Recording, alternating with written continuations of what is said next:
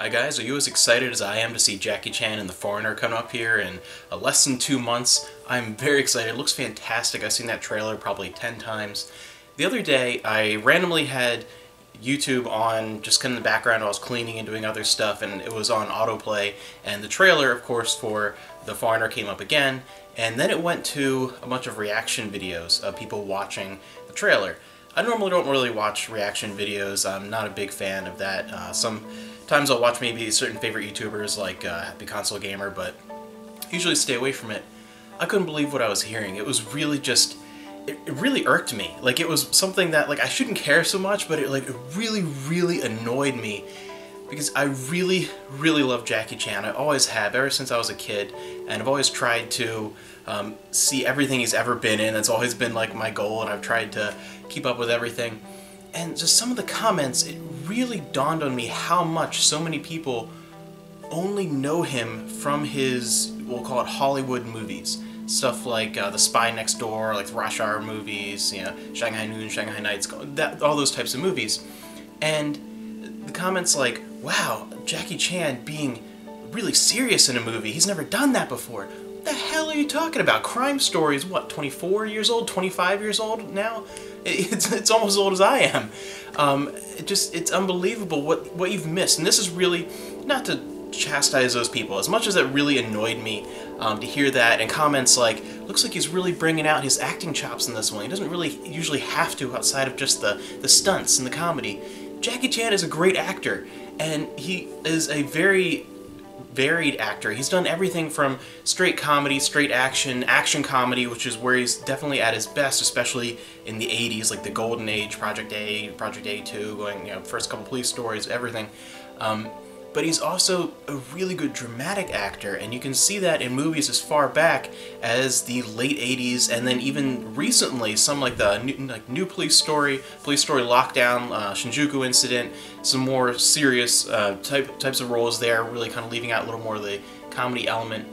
Um, he is just a very talented, varied actor, and I think part of what annoyed me about that, on top of it, is just the reaction of Jackie Chan, especially within the past, I'd say 10 or 15 years or so, a lot of interviews and behind the scenes stuff. I mean, there's always been, he's always been very open about expressing um, his, how he's perceived in America versus the rest of the world, particularly in Asia, uh, China and Hong Kong specifically, uh, and how a lot of his movies get cut for American audiences and, and very poorly, poorly cut. Uh, things like um, Super Cop, um, that was cut, the, the cut for theaters, uh, Miramax I think originally, just really butchered a lot of that movie. Um, even things like um, Mr. Canton and, and Lady Rose, Miracles, however you want to call it here, Black Dragon, sometimes printed as. So many different movies.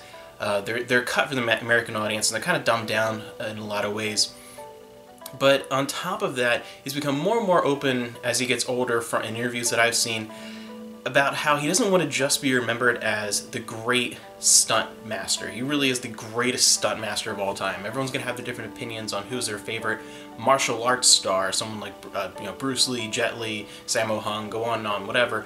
But I really think that unequivocally Jackie Chan is like the most creative, most over-the-top crazy master of stunts ever. And he is an amazing action comedy star, and that's really where he made his mark. He tried, he forced his way out of trying everyone, you know, at, at, that, at the time when he was really getting started, trying to be the next Bruce Lee, and you can see that in a lot of his earlier films when he finally was able to say, no, this is my style, I'm going to do things my way, and really get things rolling with the action comedy.